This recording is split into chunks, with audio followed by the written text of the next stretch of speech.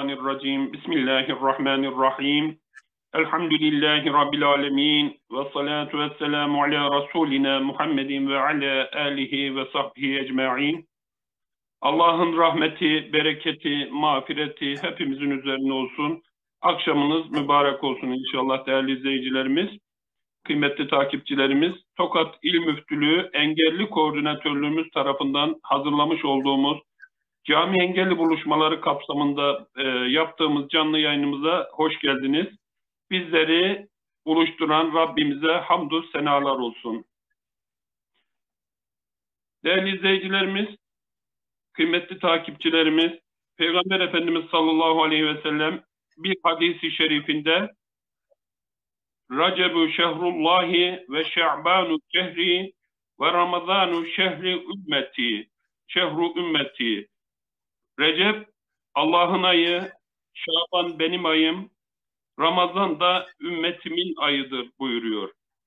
İşte Peygamber Efendimizin ayında Efendimiz sallallahu aleyhi ve sellemi ve onun sünnetinin hayatımızdaki yeri konusunu kıymetli konuğumuzda işleyeceğiz inşallah. Konuğumuz Necmettin Erbakan Üniversitesi İlahiyat Fakültesi öğretim üyesi Profesör Doktor Orhan Çeker hocamız olacaktır. Muhterem hocam programımıza hoş geldiniz. Şerefler Merhaba, verdiniz. Hoş, merhaba, hoş bulduk. Allah razı olsun. Teşekkür ediyorum. Allah razı olsun hocam. Hocam özür dileyerek e, bizim aslında e, bir de işaret dili tercümanımız var. Onu bağlamayı evet. unuttuk. E, yayın heyecanından. İzninizle hem e, arkadaşımızı da e, bir bağlayalım yayına hocam. Özür dileyerek. E, değerli izleyicilerimizden de özür dileyerek.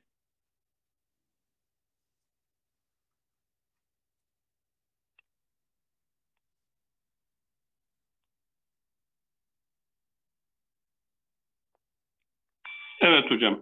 Hocam e, kusura bakmayın yayın heyecanından arkadaşımızı bağlamayı unuttuk. O da camide olduğu için e, geç e, ba, e, bağlanıyordu. E, değerli hocam e, aslında e, sizi herkes tanıyor ama ben yine de e, izninizle kısaca sizi tanıtmak istiyorum iz, izleyicilerimize. Hocamız evet. 1953 yılında Ankara'nın Haymana ilçesinde doğdu. 1972'de Yozgat İmam Hatip Okulu'nu, 1976'da Konya Yüksek İhtisas Enstitüsü'nü bitirdi. Hocam özür dileyerek arkadaşımızı da bağlıyorum. Eray Hocam e, siz de hoş geldiniz. Kusura bakmayın biraz gecikmeli oldu. E, tekrar baştan alıyorum. Hocamız 1953'te Ankara'nın Haymana ilçesinde doğdu. 1972'de Yozgat İmam Hatip Okulu'nu, 1976'da Konya Yüksek İslam Enstitüsü'nü bitirdi. Kısa bir süre Batman Kız Meslek Lisesi öğretmenliğinden sonra Konya Yüksek İslam Enstitüsü'nde fıkıh asistanı oldu. 1981'de İslam hukukunda Akitler adlı teziyle Konya Yüksek İslam Enstitüsü'nde fıkıh öğretim üyesi oldu. 1986'da doktor, 1988'de İslam hukukunda çocuk adlı çalışmasıyla doçent oldu. Ee, 1996'da fıkıhta hasta kitabıyla da profesör oldu. Halen Necmettin Erbakan Üniversitesi Ahmet Keleşoğlu İlahiyat Fakültesi'nde öğretim üyesi olarak görev yapmaktadır. Hocamızın şu anda matbaada olan, e, yakın zamanda çıkacak olan, e, takdim yayınlarından çıkacak olan tefsir özetli meali de yakında çıkacaktır inşallah. Çok sayıda yayınlanmış makale ve kitabı bulunmaktadır. Değerli hocam, programımıza öncelikle sünnetin tarifiyle başlayalım müsaadenizle. Hocam evet. sünnet nedir? Ee, nasıl tarif edebiliriz? Buyurun lütfen hocam. Evet. Bismillahirrahmanirrahim. Elhamdülillahi Rabbil alemin. Ve salatu ve selamu ala Resulina Muhammedin ve ala alihi ve sahbihi ecma'in. Rabbi işrah li sadri ve yessir li emri ve ahlul uqdete min lisani yefkahu kavli. Ve ufavvu emri umuruna ilallah innallâhe basirun bil ibad. Muhterem arkadaşlar, sünnet kelime olarak insanın davranışı demektir. Bu kelime Allah için kullanılırsa yani sünnetullah, Allah'ın sünneti denirse Allah'ın kainatı yaratırken gerek fizik açıdan, gerek kimya açısından, gerek sosyoloji, psikoloji her neyse açısından ortaya koyduğu değişmez ilkeler demektir. Diyelim ki mesela yer çekimi. Allah Teala bu dünya yarattı, yaratılalı, yaratalı yer çekimi vardır ve adaletin devamı açısından bu sünnetullahın hiç değişmeyeceğini bize Allah Kur'an-ı Kerim'de vurgulamıştır. Şöyle kısa bir örnek vereyim. Mesela yer çekiminin günden güne değiştiğini düşününüz. Bugün bir ton bir mal tartarsınız. Ertesi gün yer çekimi değiştiyse bu 850 kiloya belki de 1200 kiloya değişip duracaktır. Böyle olunca iktisadi hayat tümden e, allak bullak olacak, anarşi çıkacaktır. Ve adalet yok olacaktır. Allah Teala adaletin yok olmaması, sürekli olması için sünnetullah dediği ilkelerini değiştirmeyeceğini, sadece kıyamet kopacağında değiştireceğini söylüyor. İnsana aktarınca sünnet kelimesini o insanın davranış biçimi demektir. Fakat daha özel anlamda sünnet Peygamberimiz Aleyhisselatü Vesselam'ın davranış biçimi anlamına gelir. Dolayısıyla sünnet kelimesi Peygamberimiz Aleyhisselatü Vesselam'ın bütün davranışlarını ifade eder. Bu bir söz olabilir. Mesela selam verirken selam verme şekli, selam alırken selam alma şekli, yemekten önce besmele çekmesi, yemekten sonra elhamdülillah demesi, gerek bunun gibi söz gibi olabilir, gerek fiil olabilir. Mesela yürüyüşü nasıldı? İnsanlara muamelede bulunurken ona nasıl bir tavır takınırdı? E, bu amelleri de ifade ediyor. Artı başkasının yaptığı güzel bir amel varsa Peygamberimiz Aleyhisselatü Vesselam onu onaylıyordu. O da takriri sünnet diye hadis kitaplarımıza geçmiş durumdadır. Mesela sabah ezanında Bilal-i Habeşi radıyallahu an Es-salatu hayru minen nevm diye bir cümle eklemiştir. Peygamberimiz çok e, sevmiştir, onaylamıştır. O da sünnet olmuştur. Hatta ezanın kendisi bile önce bazı sahabilerin rüyada şöyle gördük demesiyle başlamıştır. Sonra da da vahiy bu tescil edilmiştir. Demek ki sünnet peygamberimizin davranışlarının tümünü ifade ediyor. Bir de hadis kelimesi var. Hadis peygamberimizin mübarek ağzından çıkan bütün sözleri ifade eder. Dolayısıyla hadis daha genel, sünnet ise o hadislerin uygulamasıdır diyebiliriz. Uygulamaya yansıyan kısmına sünnet diyoruz. Sadece söz olarak, beyan olarak ortada duranlara da biz hadis diyoruz. Hadis daha genel, sünnet daha özel yer tutmuş oluyor. Sanıyorum bu kadar tarif yeter. Evet hocam Allah razı olsun. Diyelim. Peygamberimiz Aleyhisselatü Vesselam Ahzab suresi 21. ayette usvetun hasene olduğunu bildiriyor Allah Teala. Aynı evet, ifade Mümtehine suresi 4. ayette ve 6. ayette Hazreti İbrahim ve beraberindekiler bir de bütün salih insanlar için kullanılıyor. Bu demektir ki Peygamberimizin ve o salih insanların davranış biçimleri bizim için sünnettir ve uyulma, uyulması gerekendir. Evet, burada eklemiş olayım. Allah razı olsun hocam.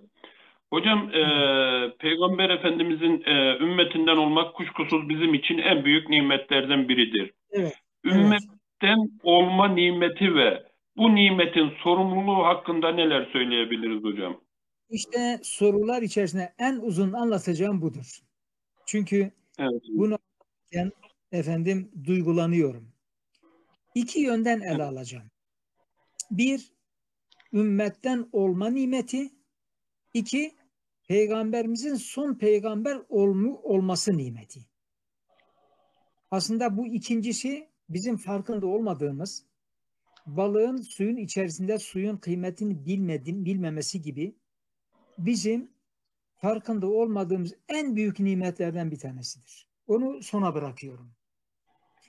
Resulullah Aleyhisselatü Vesselam Efendimiz bütün peygamberler tarafından öncesinden biliniyordu ve her peygamber kendi ümmetine onu anlatmış idi.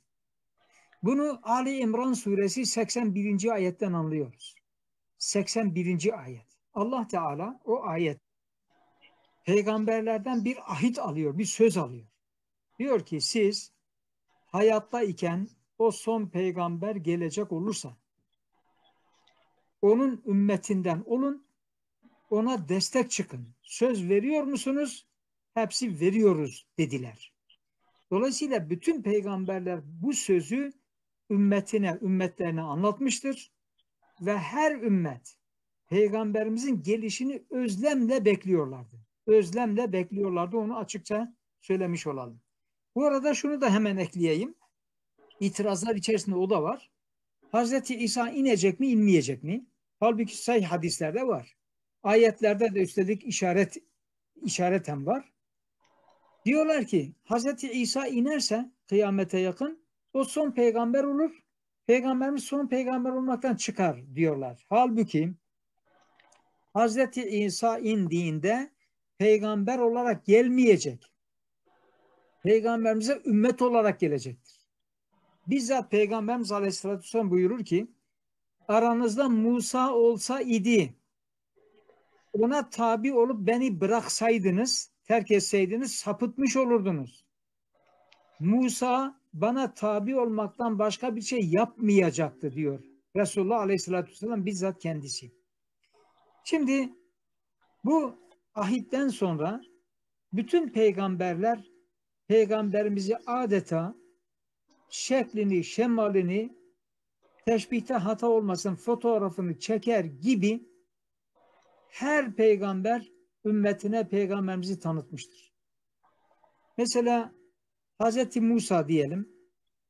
Beni İsrail'e öyle anlatmıştı ki Beni İsrail alimleri peygamberimizi görür görmez bu son peygamber diyorlardı. Hazreti İsa o kadar çok anlatmıştır ki ki Hazreti İsa'nın ümmeti de zaten Yahudilerdir. O kadar çok anlatmıştır ki görür görmez bu son peygamberdir diyorlardı. Mesela Bakara suresinde ve En'am suresinde iki tane ayette buyruluyor ki اَلَّذ۪ينَ آتَيْنَهُمُ الْكِتَابَ يَعْرِفُونَهُ كَمَّا يَعْرِفُونَ اَبْنَاءَهُمْ Kendilerine kitap verdiğimiz o, o kimseler kendi çocuklarını bilir gibi onu biliyorlardı, onu tanıyorlardı. Bunun çok örneği var. Şimdi bir iki tane beni, benim de efendim duygulandığım örnek vereceğim. Bu örnekleri anlatmam bile epey bir zaman alacaktır. Mesela Hazreti İbrahim düşünün ki peygamberler şeceresinin önemli bir kavşak noktasında bulunuyor. Ve diyebilirim ki Hazreti İbrahim Kur'an-ı Kerim'de ne diyelim en böyle e, etkin yönleriyle bize anlatılmaktadır Kur'an-ı Kerim'de. Düşünün ki kendisi peygamber. İki oğlu var peygamber. Torunu Hazreti Yakup peygamber. Onun oğlu Yusuf peygamber. Hazreti İsmail'den de sadece bir peygamber geliyor. O da Peygamberimiz Aleyhisselatü Vesselam'dır. Onun için Hazreti İbrahim'e Ebul Enbiya diyorlar. Peygamberler babası diyorlar. Zaten Kur'an-ı Kerim'de de babanızın babanız İbrahim'in dinine tabi olun diyor. Şimdi evet. niçin söyledim bunu? Bu kadar övülen Hazreti İbrahim ve oğlu Hazreti İsmail Bakara suresi 129. ayet ve devamında kendi nesillerinden 2500 sene sonra gelecek olan peygamberimiz için dua etmişlerdir. Düşünebiliyor musunuz? Olaya bir empati yapın. Kendiniz üzerinden düşünün. Kendiniz peygambersiniz. Neslinizden de 2500 sene sonra bir peygamber gelecek ve ona şimdiden dua ediyorsunuz.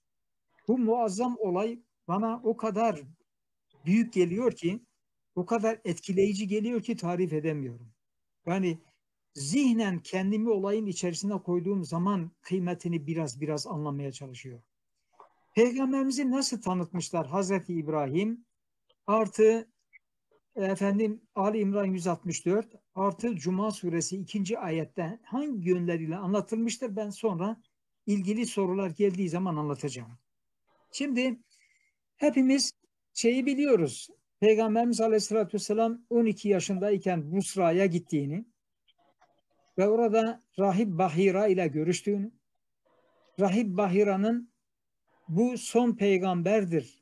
Onun için bir an önce Mekke'ye geri dönün diye tavsiyede bulunduğunu hepimiz biliyoruz. Siyer kitaplarından okuyoruz.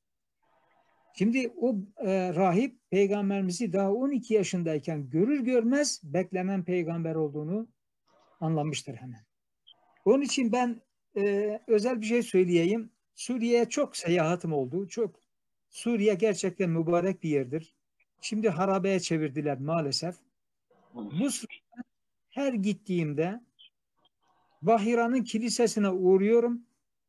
Üstü açık ama duvarları duruyor en azından. Eski Busra'da duruyor. Kilisede tahiyyatul mescit namazı kılıyorum. Tabi müftülüğümüze sormamız lazım. Tokat müftülüğünü faiz mi değil diye ben kıldım. Sadece bu Bahira'nın peygamberimize olan merhametine hürmeten kılıyorum. Yani o bana bana cidden dokunaklı geliyor. Sonra bir olay daha anlatacağım şimdi. Esas bana dokunan o. Kur'an-ı Kerim'de ismi iki defa geçen bir insan var. Tubba diye. Birisi Duhan suresinde geçiyor. Birisi Kaf suresinde geçiyor. Kavmi Tubba diye geçer. Hafızlarımız hemen hatırlamışlardır. Duhan ve Kaf suresi. Bunun bir hikayesi var, bir kıssası var, ilginç. Onu mutlaka anlatmam gerekiyor. Tubba Yemen krallığının unvan ismiydi. Bizim padişah ve sultan demek gibi. Bir numaralı Tubba, birinci Tubba ordusunu hazırlıyor. Yukarıya doğru seferlere çıkıyor. Mekke'yi geçiyor ve o zaman ismi henüz Yesrib, Medine olmadı daha. Yesrib'e kadar geliyor. Yani arada 1500 kilometre bir mesafe var. Onu özellikle hatırlatmış olayım. Orada Yahudiler yaşıyor. Bir de Evs ve Hazreç kabileleri yaşıyor. Yahudiler de kendi peygamberleri tembih ettiği için son peygamber Yesrib'e gelecek oraya gidin ümmetinden olun diye tembih edildikleri için gelip oraya yerleşmişler ve peygamberimizi bekliyorlar. Yahudi alimleri tubba'u uyarıyorlar. Diyorlar ki bak burası son peygamberin geleceği yerdir. Sakın ha burada çapulculuk, yağma, işkence, efendim e, katliam yapmayasın diyorlar. Tubba iyi niyetli bir insan olduğu için hemen istilaya son veriyor. Peygamberimize verilmek üzere bir mektup yazıyor. Orada birine tembih ediyor. Diyor ki sen hayattayken o peygamber gelirse bizzat kendin ver. Yok sen ölürsen elden ele vasiyet et. Bu mektubu ulaştırın diyor. Ondan sonra geri dönüyor. Mekke'ye uğradığında Kabe'ye siyah örtüyü giydiriyor. Siyah örtü onun tarafından giydirilmiştir. Peygamberimize hürmeten. Sonra vakıf evler yaptırıyor hacılar rahat rahat kalsın diye. Malumunuz hac Hazreti İbrahim'den beri yapıla gelmekteydi. Ondan sonra geri Yemen'e dönüyor. Peygamberimiz Aleyhisselatü Vesselam Yesrib'e yani Medine'ye hicret ettikten sonra mektuptan haberi oluyor. Ve diyor ki Medine çarşısına bir çıkayım. Mektubu elinde bulunduran insana denk gelirsem mektubu alayım diyor. Dolaşırken uzaktan tanıyor, tahmin ediyor. Diyor ki hey Ebu Leyla sen Tubba'an mektubunu elinde bulunduran Ebu Leyla değil misin? O da diyor ki evet benim. Peygamberimiz buyurur ki ben Muhammed sallallahu aleyhi ve sellem mektubu getir bana ver diyor. Dikkat edin. Mektubun yazıldığı günden Peygamberimizin eline geçtiği gün güne kadar tam bin yıl geçmiştir. Bin sene. Dolayısıyla Peygamberimiz daha dünyaya gelmeden öncesinden binlerce yıl öncesinden özlemi çekilmiş bir peygamberdir. Yani ona kavuşsak da ümmetinden olsak diye. Peki mektupta ne yazmış bakınız. Tubba şöyle başlıyor. Alemlerin Rabbi Allah Teala'nın son peygamberi Abdullah oğlu Muhammed'e. Başlık böyle. Burada iki şey dikkatimi çekiyor. Bir, Yahudiler peygamberimizin ismini de söylemişler Tubba'a, babasının adını da söylemişler. Abdullah oğlu Muhammed'e. Başlık böyle. İkinci dikkat et, et, dikkatimi çeken şey krallar genelde kendi isimlerini önce yazarlar. Bu bir racondur yani. Fakat Tubba Tubba peygamberimize hürmeten peygamberimizin adını kendi adından önce yazmıştır. Ve demiştir ki alemlerin Rabbinin son peygamberi Abdullah oğlu Muhammed'e Yemen kralı Tubba'dan. Böyle başlıyor mektup. Özetle söyleyeyim. Diyor ki ben kendim sana yetiş olursam ne mutlu bana. Fakat sana yetişemeyecek, kavuşamayacak olursam şimdiden sana ve Rabbimizden aldıkla, aldığın her şeye iman ettim. Sana ve baban İbrahim'e her ne verildiyse hepsine iman ettim. Ben senin ümmetinin ilklerindenim. Bakınız peygamber daha dünyaya gelmeden ümmeti vardı. Ümmetinin ilklerindenim. Mektup şöyle bitiyor. Yarın kıyamet gününde beni unutma ve bana şefaat et. Bu bana çok beni çok duygulandırıyor bu mektup. Demeyim şu. Resulullah Aleyhisselatü Vesselam Efendimiz dünyaya gelmeden özlemi çekilmiş bir peygamberdi. Selman-ı Farisi'yi hatırlayın. Onun hayatı başlı başına birkaç roman olur yani. O özlemden dolayı geliyor. Biz şimdi peygamberlerin bile özlem duyduğu bir nimete bedavadan sahip olmuşuz. Bu peygamberin elhamdülillah. Şimdi bu büyük nimet peygamberlerin bile özlem duyduğu nimet bize verildiğine göre nimet külfet mukabilidir. Bu nimetin de sorumluluğu olacaktır. Dolayısıyla Allah Teala'nın bizi ümmeti Muhammed'den kılması nimetinin ne kadar sorumluluğu olacağını tahmin ediniz. Öyle yan gelip yatmak yok Tüm dünyaya biz peygamberimizi tanıtmak ve tebliğ etmekle görevliyiz. Peygamberimiz getirdiği Kur'an, yaşadığı sünnet, getirdiği İslam'ı tüm dünyaya duyurmakla görevliyiz. Biliyorsunuz Kur'an-ı Kerim'de bir ayet var. Hepimizin bildiği, Dingör'ün bildiği ثُمَّ لَتُسْأَلُنَّ يَوْمَ اِذٍ عَنِ النَّعِيمِ Biliyorsunuz Arapçada tekit edatları vardır. Bir fiilin başına lam gelir, sonuna şeddeli ya da şeddesiz nun gelir. Bir de inne filan vardır. Anlaşıldı mı? Letus elunne mutlaka aksi imkansız mutlaka hesaba çekileceksiniz nimetlerden. Bu nimetin bir numarası peygamberimizin ümmetinden olma nimetidir. Ona göre din görevlilerimizin gece gündüz hiç böyle başka şeye vakit ayırmadan Allah'ın dinini ben nasıl tebliğ ederim diye düşünmesi lazım ki sorumluluktan kurtulabilsin. Bu kadar büyük sorumluluğumuz var. Bunun pek çok örneği var. Vaktimiz olmayınca girmiyorum. Şimdi geliyorum son peygamber olma nimeti ne demek oluyor? Resulullah Aleyhisselatü Vesselam'ın son peygamber oluşu biz farkında değiliz ama öyle bir nimettir ki ben o nimeti hatırladıkça titriyorum ve otomatik olarak Allah'a şükrediyorum. Nasıl? Peygamberimiz son peygamber olmasaydı da peygamberlik devam ediyor olsaydı halimiz nice olurdu. Bunu düşündüğüm zaman ya Rabbi sana şükürler olsun ki son peygamberin ümmetiyiz. Ne olacaktı peki son peygamber olmasaydı? Her akşam haberlerde dinleyecektik. Ha dünyanın öbür ucunda bir adam çıkmış bir mezrada bir köyde bir adam çıkmış bana vahiy geliyor peygamberim bana iman edin diye ilan ediyor. biz ona karşı lakayt davranamazdık. Hemen aramızdan 5-10 tane alim seçecektik. Masrafını çekecektik. Git o adamı bul, gidin o adamı bulun.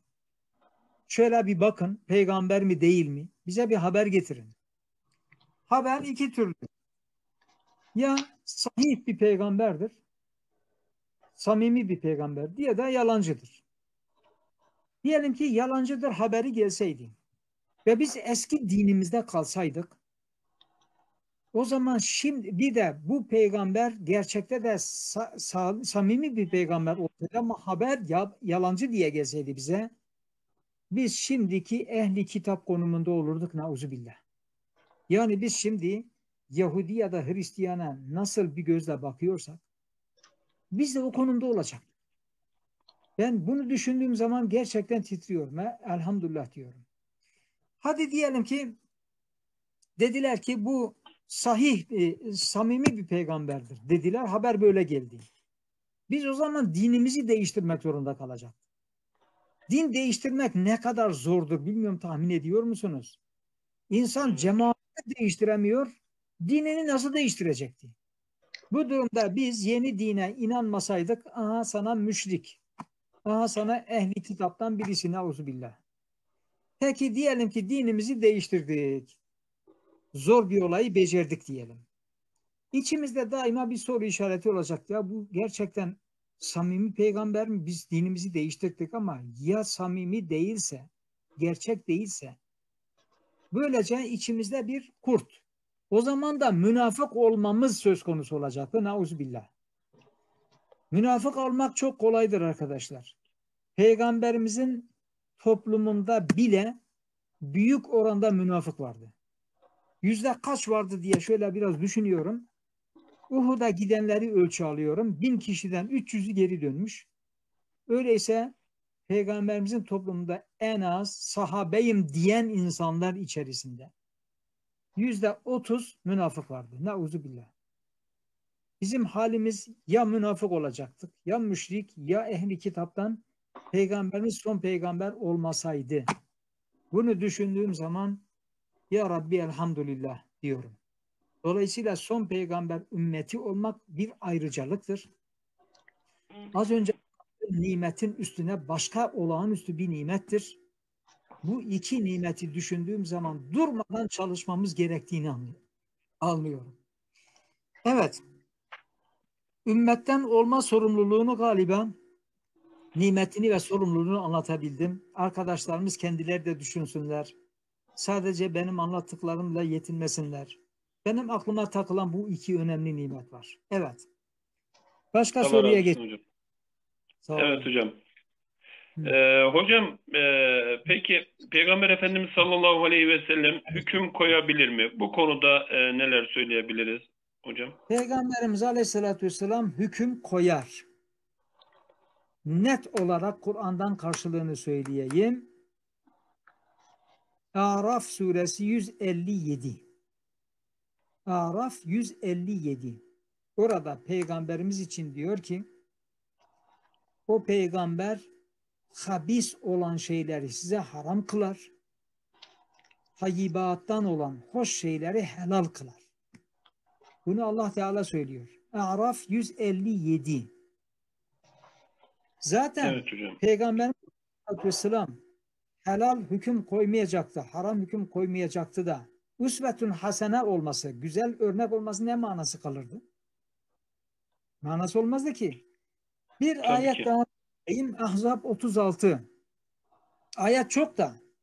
İki tanesini net olarak söyleyeyim. Ahzab 36. Ve ma kana li mu'minin ve la mu'minetin İza kadallahu ve rasuluhu e, emran en yekune lehumul khiyaratu min emrihim. Allah ve Resulü bir hüküm koyduğu zaman mümin erkek ya da mümin kadın için artık muhayyerlik hakkı yoktur. Allah ve Resulü bir hüküm koyduğu zaman hüküm koyduğu zaman kada kelimesi bakınız. Kada demek hüküm koymak demektir. E daha ne? Üstelik bir, hele bir bırakın böyle ciddi emirlerini Resulullah Aleyhisselatü Vesselam'ın yanında yüksek sesle konuşmak bile amellerin iptalini gerektiriyor. Hucurat suresi 2. ve 3. ayetlere bak, baksın arkadaşlar. Birinci ayette de Allah ve öne geçmeyin. Ne demek öne geçmeyin? Haşa onlar yolda yürüyordu da biz onlardan önde mi yürümeyeceğiz? Öyle değil. Koydukları hükmü aşmayacaksınız demektir.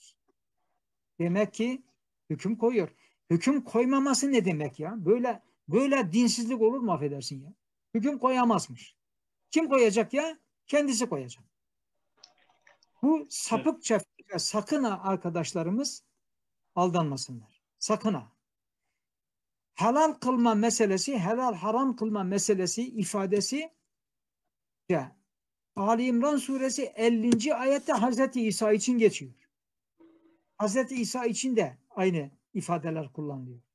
Her neyse Peygamberimiz Aleyhisselatü Vesselam hüküm koyar. Bu arada şunu da özetleyeyim. Resulullah Aleyhisselatü Vesselam Kur'an'da olmayan hükümleri de koyar. Kur'an'da olmayan hükümleri de koyar. Bunun çok fazla örneği var. Çok fazla. Kur'an sadece olaya işaret eder ya da bir kelimeyle söyler. Uygulaması peygamberimiz tarafından gösterilir. Bunun en güzel örneği namazdır. Kur'an-ı Kerim'de salatla ilgili bir iki vakit geçer.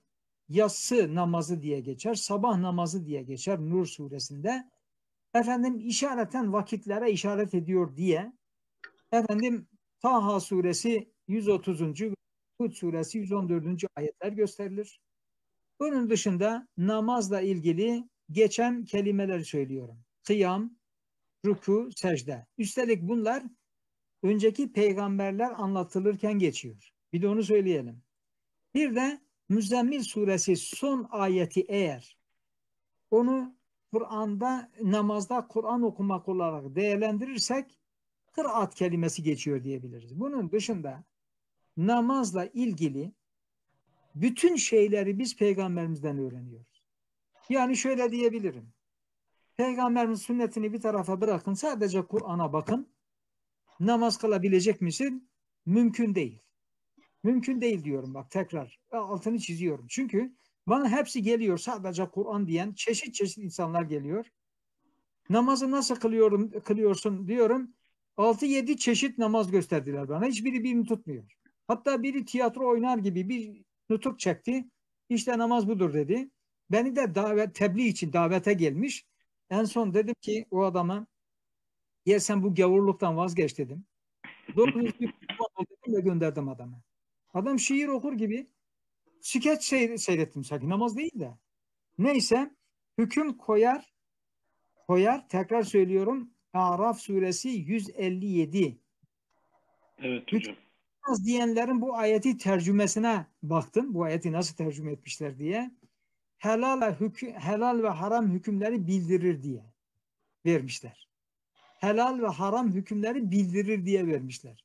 Dedim ki yahu bu sahtekarlar affedersin. Ayeti bile tahrif ediyorlar dedim. Evet. Başka soru var mı? Evet hocam. Ee, değerli hocam sünnet olmadan ümmet olunmaz sözü ne anlama geliyor? Evet. Bu konuda neler söyleyebiliriz evet, hocam? Evet. Bunu da biraz uzunca önceki kadar değil de biraz uzun anlatacağım. Hatta iki tane de cümle ekleyeceğim. Sünnet olmadan insan adam olmaz. Peygamberimizin sünneti olmadan Allah katında insan muteber bir adam olmaz. Kime dokunursa dokunsun söylüyorum. Çünkü Peygamber Ahzab 21. ayette usvetun hasane olarak tanıtılıyor bize. Ne demek usvetun hasane? Güzel bir örnek. Peki bu ne demek? Allah Teala diyor ki benim istediğim insan tipi bu. Böyle olun diyorum. Güzel tip bu. E bundan ne çıkar? Peygamberimizin hal ve hareketlerini yaptığımız zaman Allah katında adam sayılırız demek. Bunun da yok ve bunu da çok açık hem de gururla söylememiz lazım. Efendimizin sünneti olmadan, sünnetine tabi olmadan Allah katında adam olunmaz. Bitti. İki, Efendimizin sünneti olmadan İslam diye bir din kalmaz. Bunu bir daha söylüyorum. Efendimizin sünneti olmadan İslam diye bir din kalmaz ortada. Onun için diyoruz ki İslam kitap ve sünnet bütünlüğüdür diyoruz. Kitap ve sünnet beraberliği ve bütünlüğüdür diyoruz. Tek başına Kur'an İslam'ın tamamını anlatmaz. Anayasa zaten kanunlar ifade etmez ki. Hukukçulara sorun bir anayasa vardır. Bir de ona dayalı çıkarılan kanunlar vardır. Şimdi sorayım. Kanunlar olmadan sadece anayasayla devlet idaresi olur mu? Olmaz diyeceklerdir. Aynı onun teşbihte hata olmasın. Efendimizin uygulaması olmadan İslam diye bir din kalmaz ortada. Bitti.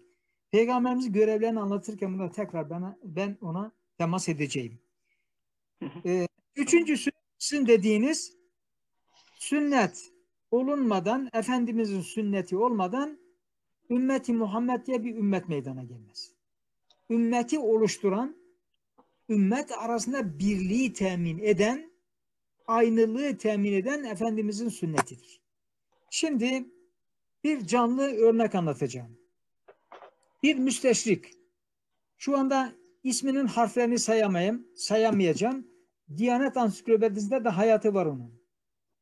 Şimdi bu adam 1920'lerde Müslüman oldum diye hacca gidiyor. Halbuki Müslüman falan olmuş değil. Onu da söyleyelim. Çok yerde tabi İslam'ın çalışıyor. Bütün böyle efendim e, gizli gizli ne yapması gerekiyorsa yapıyor. Bir de hacı merak ediyor. Hacca gidebilmek için de Müslüman olmak gerekiyor. Yoksa salmazlar oraya. Demiş ki ben Müslüman oldum. Hacca gidiyor. Bir bakıyor ki hac dışında birbirlerini görmeleri mümkün olmayan insan çeşitleri. Kanada'dan hacı var, Brezilya'dan var, Sovyetlerden var, Güneydoğu Asya'dan var, Orta Doğu'dan var, Avrupa devletlerinden hacı var. Değişik kıyafetler, değişik renkler, değişik diller. Ama bir bakıyor ki hepsi aynı ibadeti yapıyor. İbadet birliği var. Zaman zaman soruyor kimilerini denk getirdiği hacılara. Sen Arafat'ta vakfeyi niçin yapıyorsun? Cevap şu. Peygamberimiz böyle yaptı. Sen şeytanı niye taşlıyorsun? Peygamberimiz böyle yaptı. Sen Müzdelife'de niye vakfe yapıyorsun? Peygamberimiz böyle yaptı. Sen Safa Merve arasında niçin gidip geliyorsun? Peygamberimiz böyle yaptı. Elbiseyi niçin çıkardın? İhram giydin. Peygamberimiz böyle yaptı. Tavafı niye bu kadar böyle yapıyorsun ayrıntılarıyla? Peygamberimiz böyle yaptı. Niçin tıraş oluyorsun? İhramdan çıkıyorsun. Peygamberimiz böyle. Hepsinin cevabı değişik kimseler sor, aldığı cevap aynı. O zaman diyor ki bu ümmeti birlik haline getiren ve ümmet haline getiren peygamberlerin sünnetiymiş. Öyleyse biz peygamberlerin sünnetinden bunları uzaklaştırırsak bunları bozarız. Dolayısıyla peygamberimizi dışlama faaliyeti İslam'ı din ola, olmaktan çıkarmak, ümmeti ümmet olmaktan çıkarmaktır bunun arka, arka planı. Kim bunu bilerek yapıyorsa haindir. Bilmeden yapıyorsa affedersin akılsız bir gafil insandır yani. Kim bilmiyorsa. Biz yerli Türkiye'dekiler için efendim gafil kelimesini kullanıyoruz. Hüsnü zan beslediğimiz için. Yoksa, yoksa hain dememiz gerekir. Ama bilin ki bu fikirler oryantalistlerden geçmedir bizimkilere. Harfiyen müsteşrik yani gayrimüslim olup İslami ilimlerle ilgilenenler kimlerse aynı ile onların kitaplarında var. Bizimkiler de oradan hazır hazır alıyorlar. Güya kendiler üretmiş gibi konuşuyorlar. Gafil olduklarını ya farkındadırlar ya da hainliklerini gizliyorlardır, söylemiyorlardır. Evet. Başka daha söyleyeceklerim var ama başka sorulara geçelim. Sonunda olursa olur. Buyurun. Tabii ki hocam. Hocam e, sadece meal okumamız yeterli mi? Veyahut da bunun yanı sıra, mealin yanı sıra tefsirde okumalı mıyız? Evet. Sadece meal okumak yeterli değildir. Mutlaka meal tabii ki okuyacağız. Okumayın demiyoruz ama özet bir tefsirle birlikte okuyun.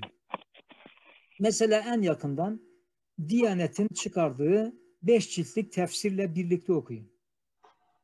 daha da geniş tefsir istiyorsanız mesela İbni Kesir tavsiye edilir mutlaka. Hiç değilse onun e, mulakas olanı var. Yani altı ciltlik tercümesi var. Hiç değilse onu okuyun. İbni Kesir.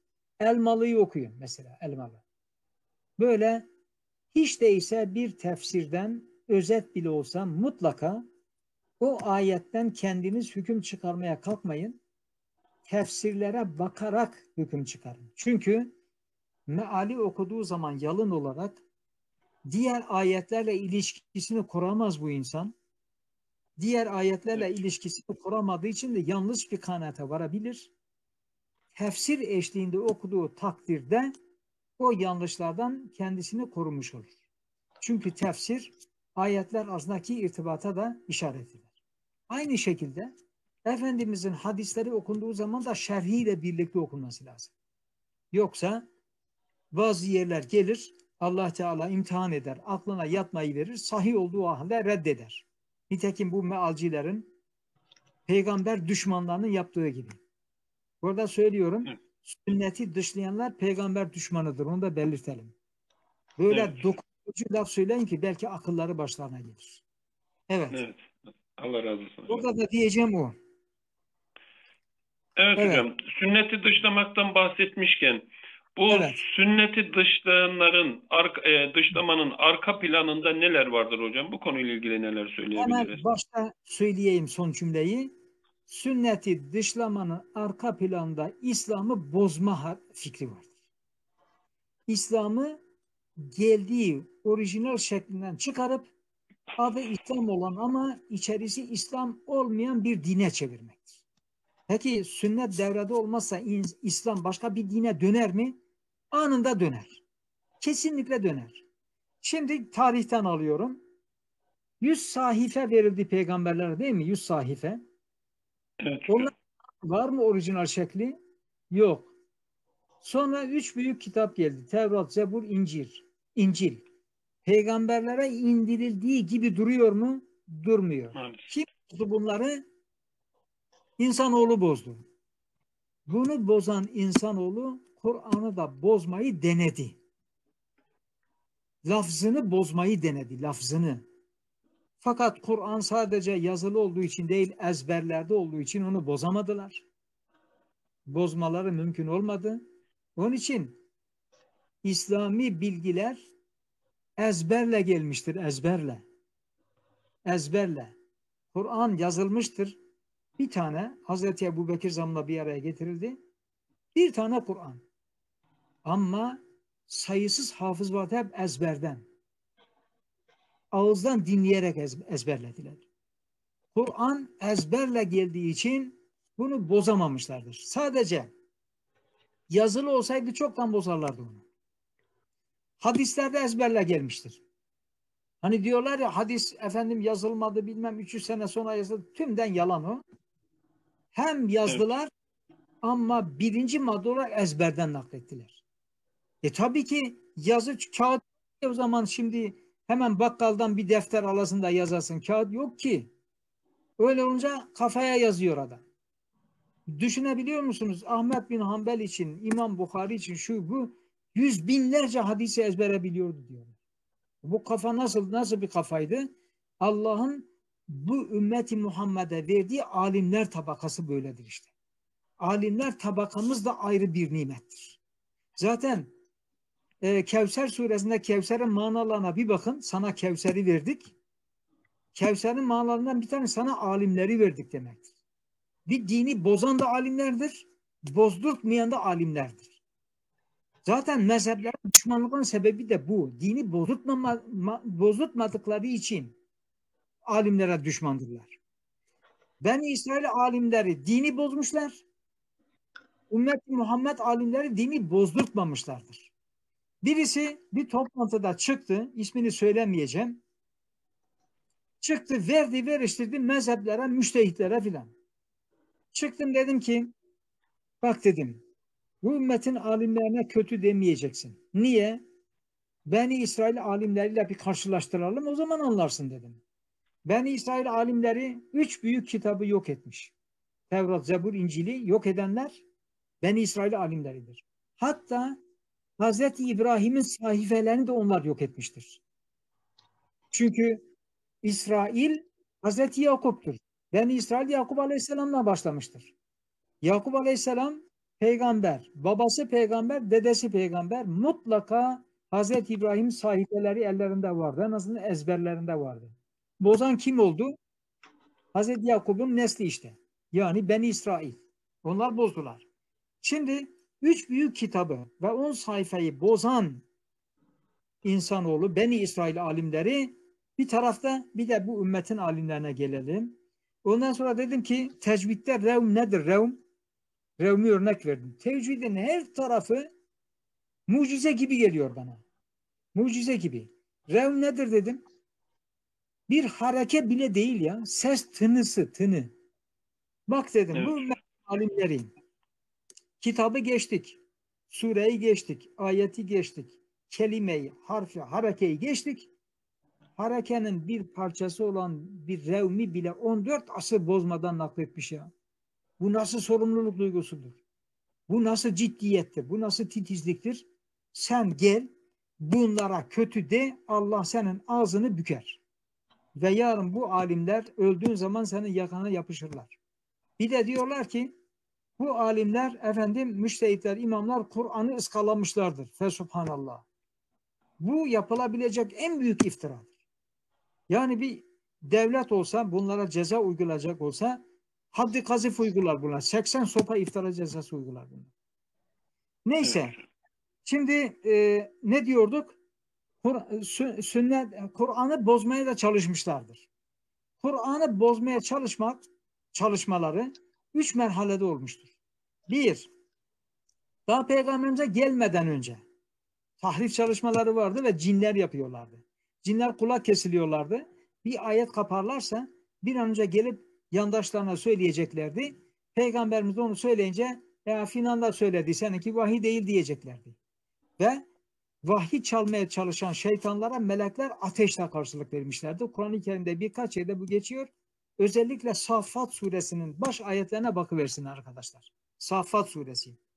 Ondan sonra evet. peygamber geldikten sonraki safa Peygamberimiz daha ilk dakikada ayetleri yazdırmıştır. Yani bir kitap halinde değil de parça parça yazdırmıştır. Zaten sahabe elinde parça parça ayetler mevcuttu. Hazreti Ebu Bekir zamanında bir e, kitap haline getirildi. Bir de sahabe kendi e, anladığı manayı da kenarlarına not etmişti. Onları da e, Kur'an dışı bıraktılar. Bu parça parça notları sonradan Kur'an'dan zannedilmesin diye onlar imha edilmiştir. Peygamberimiz zamanında da Kur'an'ın lafzını bozmaya çalışanlar olmuş ama hayatta peygamberimiz olduğu için bir şey yapamamışlardır. Peygamberimizden sonraki safa. Şeytanlar yine boş durmamış. İnsanlardan olan şeytanlar ve cinlerden olan şeytanlar beraber çalışmışlardır. Kur'an'ın lafzını evet. bozmaya uğraşmışlardır. Bakmışlar ki lafzını bozmak mümkün değil çünkü binlerce hafız var. Hangisinin kafasında neyi söküp alacaksın? Mümkün değil. O zaman demişler ki Kur'an'ın lafzı dursun, manasını bozalım. Manasını bozalım. Manasını bozduk mu din min kalmaz ortada. İşte Kur'an'ın manasını bozdurtmayan şey Efendimizin sünnetidir. Bir ayetle ilgili 8-10 tane hadis naklediliyor. İbni Kesir'e bakarsanız hadislerin hepsini görürsünüz orada veya Taberi'ye bakarsanız. Özellikle İbn Kesir biraz daha güvenilir yani seçici. Ben çok seviyorum. Bir şeyde hemen evet. ona bak. Ha. Te, tercümesi de var piyasada malumunuz. Evet, Şimdi hocam. bir ayetle ilgili 5-10 tane hadis, hadis şerif. O ayete hadise aykırı bir mana verdiğin takdirde hadis-i şerifler diyor ki hop diyorlar. Bu manayı veremezsin. Allah'ın muradı bu değil diyorlar ve engelliyorlar. Böylece Kur'an'a Allah'ın maksadının dışında bir mana yüklemeye çalıştıkları takdirde hadis-i şerif engel oluyor. Zaten Kur'an'a istedikleri manayı verip İslam'ı bozalım dedikleri için sünneti dışlıyorlar. Sünnet en büyük engel onlara. En büyük engel olduğu için sünneti dışlıyorlar. Ve bu oryantalistlerin kitaplarına bakın hepsinde yazılıdır. Bu sünneti dışlamak, sünneti tenkit bilmem ne şu bu. Hepsi, hepsinde ortak fikir gibidir yani. Sünneti biz dışlarsak sadece Kur'an ile yüz yüze bırakırsak bu ümmeti bozarız. Çünkü Evet. manasını anlayamazsın, manasını anlayamazsın. Allah'ın muradı doğrultusunda anlayamazsın. Onu anlatan Efendimizin sünneti ve yaptıklarıdır. Ona engel olmak için sünneti dışlıyorlar. Demek ki sünneti dışlamanın arka planı İslam'ı bozmakmış. Tekrar söylüyorum. Sünnet dışlandı mı hemen o gün İslam bozulur. Bozdurtmayan şey Efendimizin sünnetidir. Herhalde anlatabildim. Allah Peki. razı olsun hocam. Ee, Bir de peygamberimizin görevlerini ben Evet hocam. Siz Evet sormadan hocam. söyleyeyim. Çünkü sona bırakmıştım. Evet. Evet hocam buyurun. Görevi sadece tebliğ değil. Affedersiniz bir postacı değil. Yani Allah'ın ayeti bana geldi. İşte size okuyorum. Bana hayır eyvallah diyen bir peygamber değil. Öyle anlatıyorlar çünkü. Tebliğcidir. Başka bir etkisi, yetkisi falan yok, yoktur diye anlıyor. Zaten gavurluk oradan başlıyor zaten. Affedersiniz. Peygamberimizin görevlerini anlatıyorum. Pek çok ayetin yanı sıra bir de daha net seçeceğim üç tane ayet. Konuşmanın başında söylemiştim. Bakara suresi 129 ve devamı. Üç tane ayet. 128. E, e, Evet.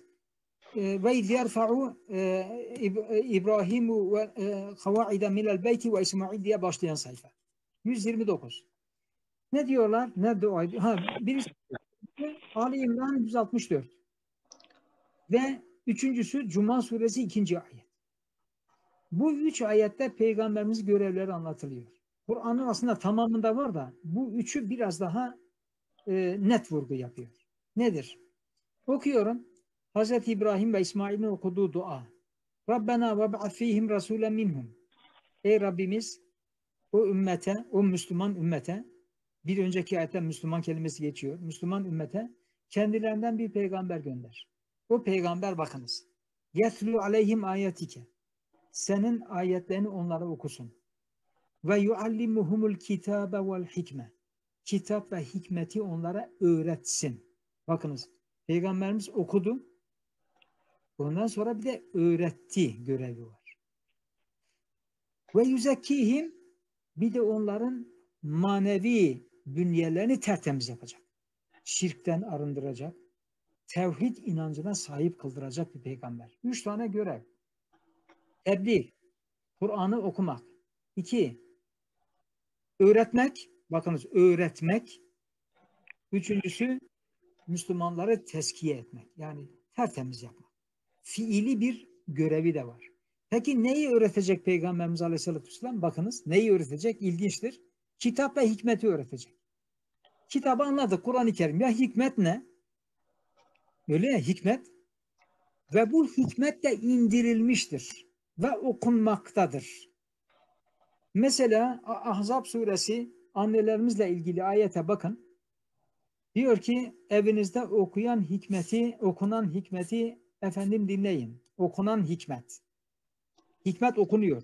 Nisa 113'te hikmet indirilmiştir diye ayet var. Bakın bir daha söylüyorum. Nisa 113'te hikmet indirilmiştir. İndirilmiş ve okunmaktadır.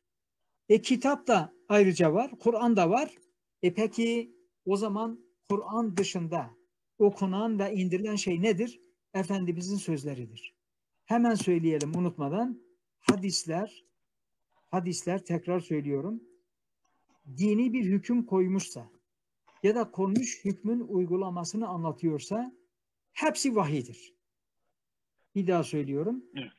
Vahidir. Bu uygulamalara şeytanca şöyle diyorlar. Bu bir ilhamdır diyorlar. Yani eh doğru da olabilir, yanlış da olabilir. Kimisi de diyor ki Peygamberimizin Kur'an'dan çıkarımlarıdır. Çıkarımları dikkat eder misiniz? Çıkarımlarıdır. Doğrudur, doğru olabilir. Burada şeytanca peygamberimizi dışlama var. Şimdi çıkarımlar derseniz bu beşeri bir olaydır. Dolayısıyla yanılabilir de. Öyleyse peygamberimizin sözleri e, bir, bir herhangi bir insanın Ahmet'in, Mehmet'in, Hasan'ın dediği sözler gibidir. Doğru da olabilir, yanlış da olabilir. Öyle değil. Bir daha söylüyorum. Dini hüküm koyan ya da konmuş bir hükmün uygulamasını gösteren bütün hadisler vahiydir. Vahiy dışında peygamberimizin hüküm belirtmesi yoktur. Kendisi hüküm belirttiyse ve Allah'ın muradına biraz aykırı ise düzeltilmiştir. Onun örnekleri de var. Düzeltilmiştir. Öyleyse düzeltilmeyenler Allah'ın onayladıklarıdır. Ve vahiydir. Evet. Bu kadar. Sünnet konusunda arkadaşlarımız sünnetin vahiy olduğunu unutmasınlar. Ve vahiy değildir diyenlere şiddetle karşı çıksınlar. Dini bozan o fikirdir işte. Evet. Başka ne diyelim? Görevlerini anlattık. Evet Şunu hocam. Peygamberimiz Aleyhisselatü Vesselam'ın hadisleri aleyhine söylenen sözlerin tümü yalandır. Başta yalandır deyin o kişiye.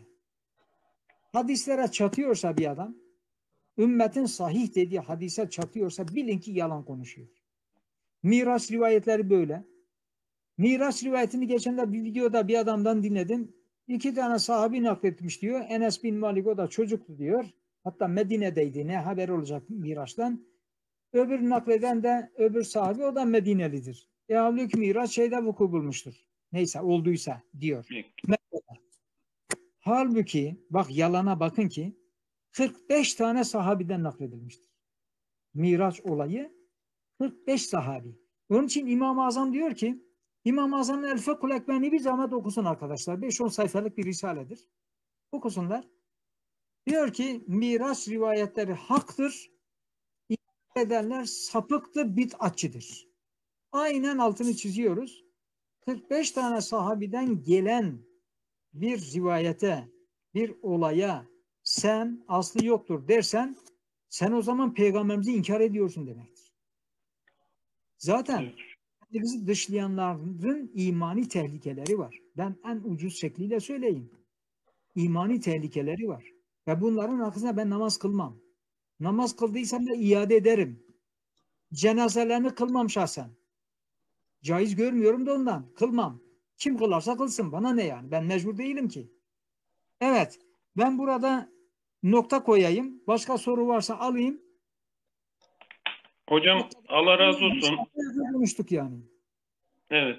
Ee, seyircilerimiz, izleyicilerimizden de sorular geldi ama siz e, konu evet. içerisinde aslında tüm sorulara cevap verdiniz. Allah bir, razı olsun hocam. Ee, bir efendim hocam?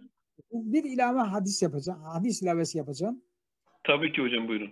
Tirmizi'nin süneninde fitneler bahsinde, kıyamete yakın çıkacak fitneler bahsinde 38. bab. Fiten bahsi 38. bab. Diyor ki Ümmetim şu 15 şeyi yaparsa başına bela gelir. Şu 15 şeyi yaparsa başına bela gelir. Hemen heyecanla ya Resulallah bunlar nelerdir? Diyorlar. 15 tanesi saymayacağım. Arkadaşlar baksınlar. Tirmizi'nin süneni fitneler bahsi bab 38. 15.yi söylüyorum. Ve la'ana ahiru hadhihi ummeti evvelaha. Bu ümmetin sonradan gelenleri geçmişine lanet okursa, geçmişine lanet okursa başına bela gelir. Alimlerimizin benzeri bir başka ümmette yok. Allah cümlesine rahmet eylesin. Sakın ha alimler aleyhine, mezhep aleyhine konuşanlara itibar etmeyin. Baştan sona yalan söylediklerini peşinden kabul edin. Peki. Evet hocam. Ve ahiru davana enilhamdülillahi rabbil alemin. Allah razı olsun hocam. Ağzınıza sağlık. Değerli Program hocam bizleri kırmadınız. Programımıza katıldınız. Engin ilmiz, ilminizden bizleri nasiplendirdiniz. Doğru. Çok burada teşekkür ediyorum. Madem, madem reklam yaptın bu da burada bir ilmihal yazdım. evet hocam. Şimdi göre, göremiyorum sana. Evet ilmihal. hocam böyle güzel. Evet hocam. Ha, bu kadar. Allah razı olsun hocam. Ee, yine takdim yayınlarından e, çıkacak tefsir özetli meal e, kitabınızda yakın zamanda şu anda matbaada. İnşallah evet. onu da e, izleyicilerimize e, hatırlatmış Sanırım olalım. hafta- bir haftaya kadar çıkar inşallah. Öyle tahmin ediyorum. İnşallah hocam. İnşallah. Evet, Allah razı peki. olsun hocam. Evet. Ayrıca hocam sizinle e, buluşmamıza vesile olan İl Müftü Yardımcımız e, Cabir Çelik hocama da e, çok teşekkür ediyoruz. Allah Cabir razı olsun Hoca'yı ondan. çok severiz. Allah razı olsun. Yakama ol. yapış. Cabir Hoca'yı kandıramadım kısacası. Allah razı olsun hocam. Evet. Biz de ısrarcı olduk e, Sağ olun, hocama. Allah razı olsun. E, Allah razı olsun hocam. Çok teşekkür kaydı ediyorum. var mı Murat Bey? Var hocam. Var. Ben size gönderirim bana- inşallah hocam. Bir zahmet gönderirsen memnun olurum. Tabii ki inşallah hocam. Peki. Allah razı olsun. Selametle. Allah'a emanet Teşekkürler olun. hocam. Esselamu Erol hocam aleyküm e, size de çok teşekkür ediyoruz. Allah razı olsun. Elinize sağlık diyelim. Siz de elinizle e, bizlere tercüman oldunuz. E, Allah razı olsun hocam. Teşekkürler. Değerli izleyicilerimiz programımızda programımıza her daim destek destek veren e, İl Müftümüz Sayın Abdullah Pamuklu Beyefendiye, yine İl Müftü yardımcılar, yardımcısı hocalarımıza, çalışma arkadaşlarımıza, Engelli Derneği Tokat Şubesi Başkanı Ali Aras Beyefendiye, yine Beyaz Ay Derneği Tokat Şubesi Başkanı Suna Köten Hanımefendiye ve engelli okulları müdürlerimize ve hasaten siz değerli izleyicilerimize şahsım ve müftülüğümüz adına çok teşekkür ediyorum. Allah razı şey olsun. miyim? Allah'a emanet Murat olun. Hoca. Murat Hoca bir şey Evet söyleyebilir buyurun. Tokat İlahiyat'ta e, şey var, fıkıhçı, e, han, e, hanımefendi, e, Hilal Özay. Özay.